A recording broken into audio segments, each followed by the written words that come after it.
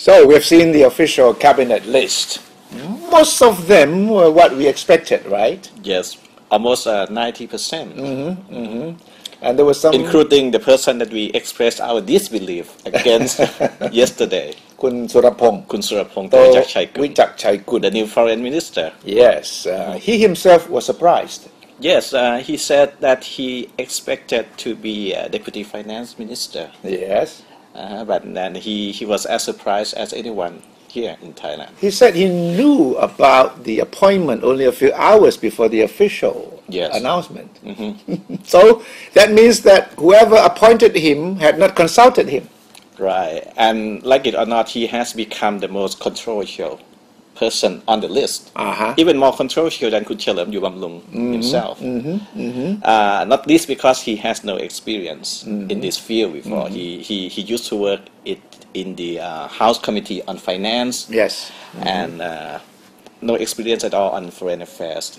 Uh, all we knew about him was that he was leading a protest against the British embassy when Kun Thaksin had his visa revoked. Oh, yes. Mhm. But I heard uh, Kun Yingluck, the Prime Minister, he, she was asked about, you know, why did you appoint uh, Kun Su- Surapong? Yes. And she said that because he had experience as a businessman, international business, he was in a few committees, house committees, Yes. not related to foreign affairs, but, you know, he has been a politician for a long time. Yes. Um, in, in his interview today, he said that he, he wants some. Uh, uh, he, he want everyone to give him a chance to work in this uh, in this new position that he did not expect. Uh, he said that he is here to work, not to bring Kun Thaksin home.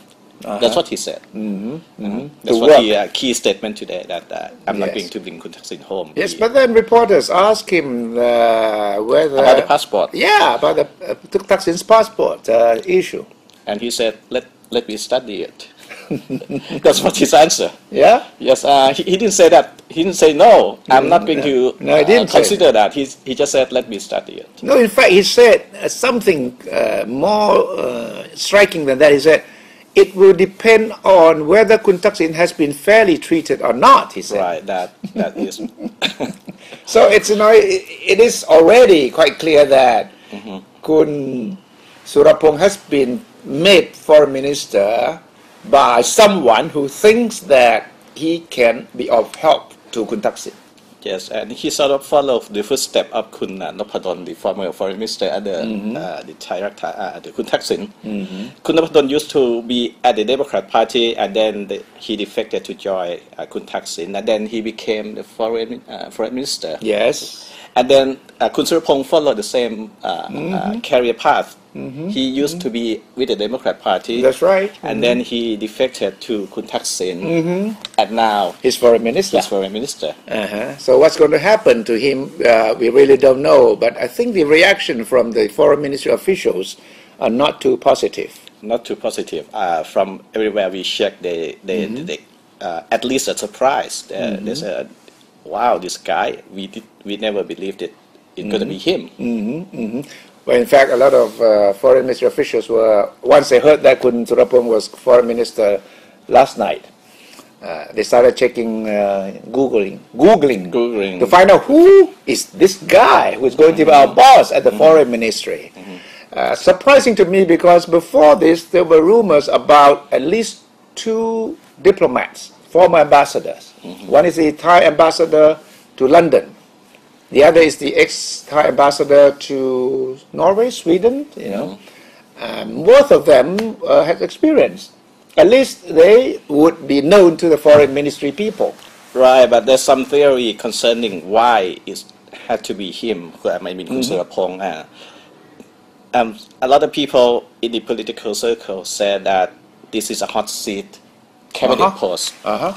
You have to deal with Kun Thaksin. You have to deal with how to get Kun Thaksin back as a government. Mm-hmm, And then you have to deal with the Cambodian issue. Yes. It's also more or less involved Kun Thaksin and some some past uh, controversies concerning the uh, People Power Party. So it's not a good position to be to, to be taken by the outsiders. So that's why uh, Kun Surapong has to be named the- Because because he's uh, familiar before, with before the because the outsider they, they they feel that this is too much. I this is a hot potato seat. I see. Mhm. But then Kun uh, Surapong said that, well, you know, the senior foreign ministry officials are capable people, so they can help me. Yes, uh, he is did asking for help Mm-hmm. in his interview today, and he said, "I give you a chance." So we will see, because uh, we have to give him a chance now that he has been appointed to show whether the widespread suspicion that he has been put there because he will help to help Kun Thaksin get his passport back and somehow uh, pave the way for Thaksin return. It's not fair to jump to conclusion. Right. We will just have to see whether Kun Surapong will actually do what a lot of people say he will have to do, and that is a big question for Prime Minister Yingluck.